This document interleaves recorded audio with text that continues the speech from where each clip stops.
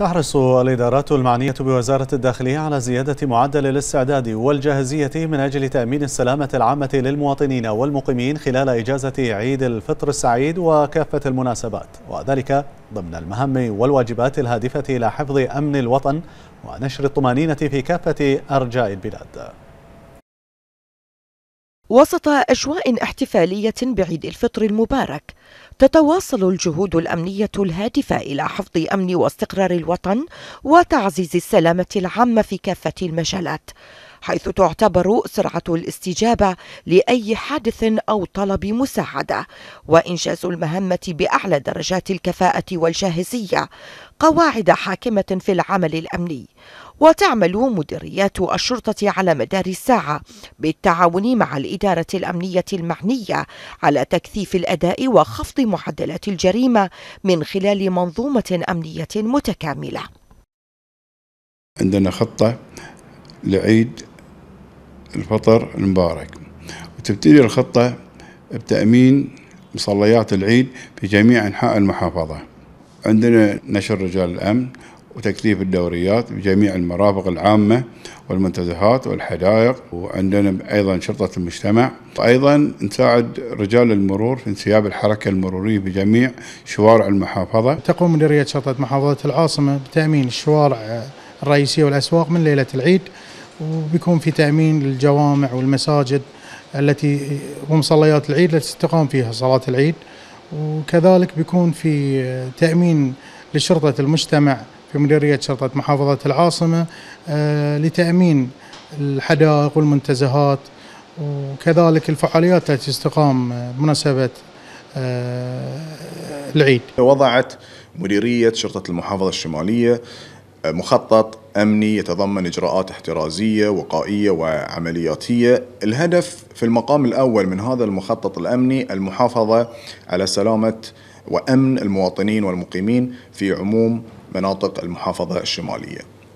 المخطط الأمني أيضا يتضمن إجراءات أخرى آه، تهدف إلى حماية المنشآت والمرافق الحيوية في في في عموم مناطق المحافظة كمصليات العيد ودور العبادة آه، الأسواق والمجمعات التجارية وغيرها من الأماكن التي تشهد احتفالات آه، بهذه المناسبة السعيدة علينا جميعا. قمنا من رئيس شرطة المحافظة الجنوبية بوضع الخطط الأمنية للمحافظة على الأمن العام طوال فترة العام وعلى وجه الخصوص في المناسبات والأعياد.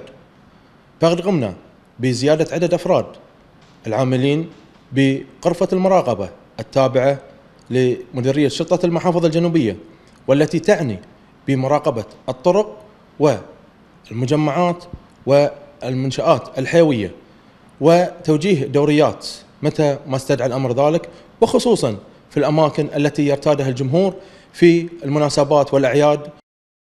ومن بين الإدارات التي ترفع درجة الاستعداد في المناسبات والأعياد الإدارة العامة للمرور.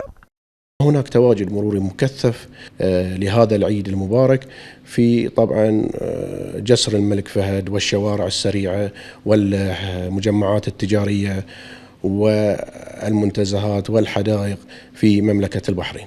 تدعو الإدارة العامة للمرور مستخدمي الطريق بالالتزام بالأنظمة والقواعد المرورية وتجنب السرعات العالية تجنب التجاوزات الخاطئة وعدم الاستعجال في الأحياء السكنية بالأخص كون آه، مواطنين آه، يتوافدون على آه، بعضهم البعض لتلقي التهاني والتبريكات بمناسبة عيد الفطر المبارك في ذات الإطار تعمل الإدارة العامة للدفاع المدني على النهوض بمسؤولياتها واتخاذ كافة الإجراءات التي تكفل السلامة العامة خلال أيام عيد الفطر المبارك.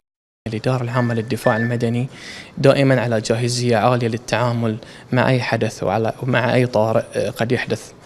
آه، طبعا دورنا الإنساني نقوم فيه على أكمل وجه 24 ساعة آه، في كل وقت وعندنا خطط معدة وجاهزة للتعامل مع أي نوع من البلاغات.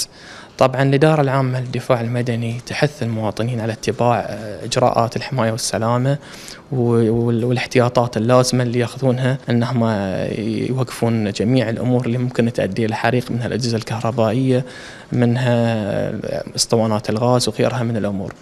كذلك إحنا نحث المواطنين على اتباع إجراءات الحيطة والسلامة في الأماكن العامة. إحنا طبعا الإدارة العامة للدفاع المدني تقوم بتفتيشات دورية على المجمعات وعلى غيرها من الأمور تاكد وتحرص على وجود آه، إجراءات الحماية والسلامة إلا أن إحنا أيضا نطلب من المواطنين اتباع الإرشادات الموجودة في هذه الأماكن والمجمعات العامة.